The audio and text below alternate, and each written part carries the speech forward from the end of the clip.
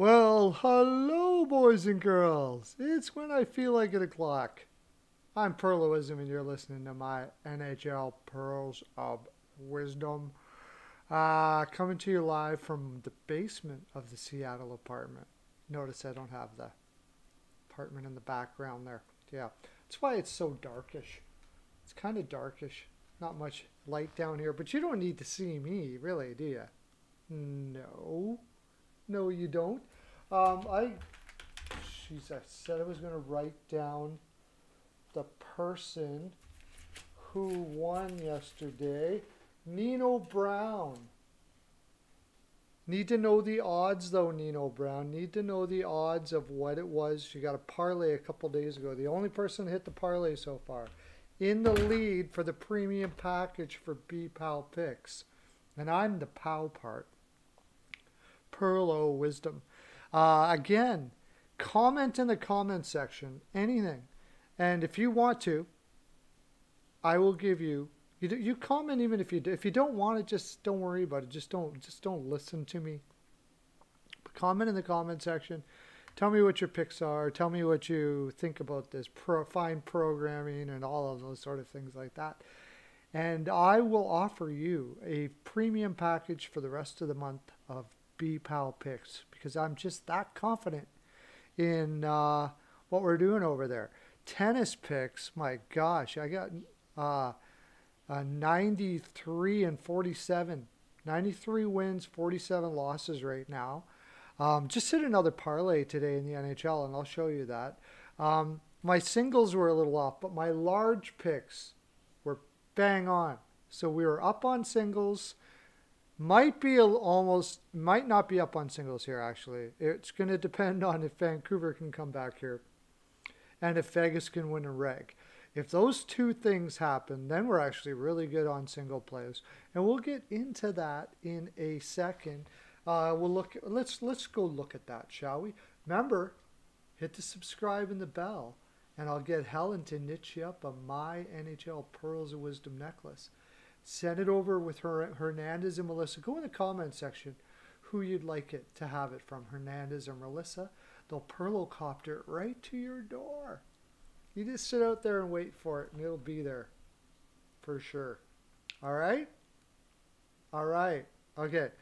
Um, I was actually really good that things started to turn around today uh, because I almost had to go to the House of Spanking again. Not that I mind doing that really, but I prefer to do to have everything stay in line and not need to go to Pearlo's House of Spanking. If you don't know what that is, that's just what it sounds like, Pearlo's House of Spanking. Because everybody needs a spanking sometimes. Get you back in line again. Okay, let's look. Okay, this is going to be what the heck? Okay, this is going to be uh, the games tomorrow, but we are going to talk about the games that happened today. Okay, and what I had yesterday. Okay, what I had on Patreon, this is happening right now. I took the Canucks. I thought they're going to get some rest and they're going to come back with a vengeance. As you can see, they're out shooting them 24 to 14. Uh, I normally do these in the morning, by the way, but I'm really going to be busy, so I, I, I did it at night this time. Uh, zero zero after the second. Now I never would have saw that coming. I have Golden Knights in reg, so I need them to score. They're getting outshot. Not looking too good. Uh, hopefully they can come up with something there. I'm watching that game. It really doesn't look like the Ducks are out shooting them. They must be shots from the outside. Didn't put a play on here, although I did lean the over. And I did lean the Sharks, but I never put a play in on this. So the over would likely come in. If you remember from my video, I leaned the over. Here's where things went a bit of awry right off the beginning. The Islanders are doing real well. Real well, pretty well. 30 seconds left, 3 2. I have the Islanders and the under.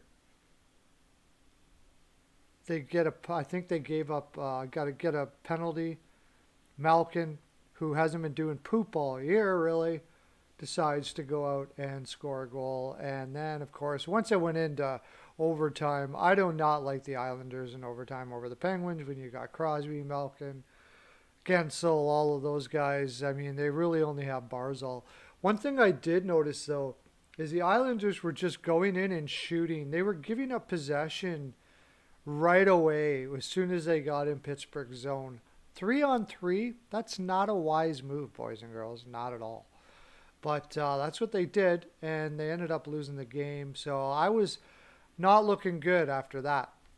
And then I was not looking good after this either. But Projo, if you watch my show from 1 till 3 till 3 till 5 Eastern, 5 days a week, I'll be on tomorrow. You might want to check it out. Projo and I, it was Steel, Projo and I today. We talk about all the games that happened and then we talk about the games that are going to happen. We talk about everything to do with hockey, and we talk with you.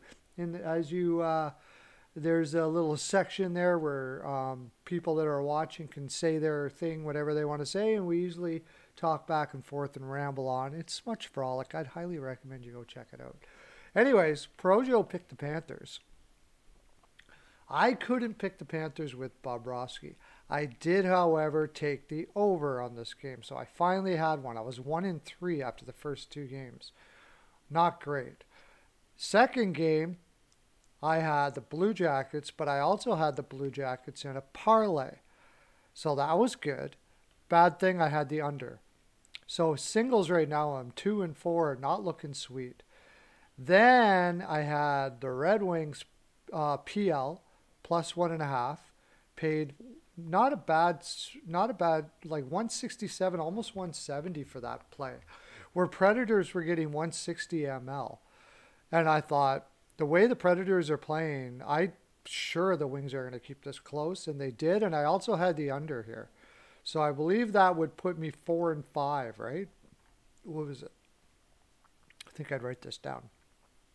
Oh, and two, one and three, one and four, one and three, two and four, four and four, four and four. Jets, I had the under. They just barely got under six and a half. This was my large pearls pick. Jets in reg and Jets under six and a half. So those large pearls are like three to five pearls, whatever, like big big pearls on those units if you don't know what pearls are. So um, that put me pretty much ahead after that because these were smaller plays, maybe one or two units, uh, and I was a little bit down. Then I lost a little bit more on the Oilers. I had the Canadiens to win that game, so uh, I was four and five. I didn't have a play on this. I did lean the over, but I did lean the Stars but I didn't put it in as a play. I did lean the over though, um, simply because Reinhardt was in net. Stars, I don't know, man. I don't know what's going on there.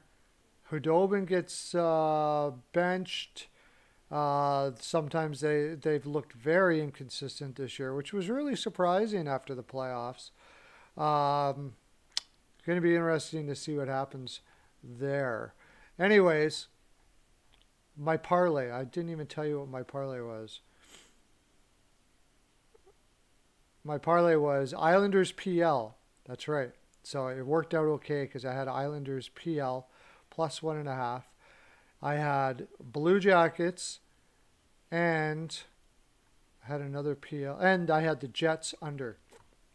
Paid almost 3.75 units. So even if I break even or come close, I'm going to be a little bit over with my parlay. Okay, that was what happened yesterday. Let's look at our picks for tomorrow. Tough one. Now, the rate, I'm going to give you a pick here, but it's going to be based on a few things. Panarin was hurt, and it's not looking good that he's going to be back. If Panarin's not back, I'm taking Boston and Reg.